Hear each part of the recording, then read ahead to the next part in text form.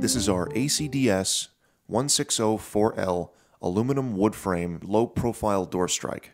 This electronic door strike is made for non-fire rated doors. This is a low profile door strike, meaning that it is made for doors that have a 1 2 inch or 5 8 inch latch protection for narrow door frames and needs to be assembled using the screws, tools, and instructions provided. You can supply power by either using a 24 volt DC or 24 volt AC.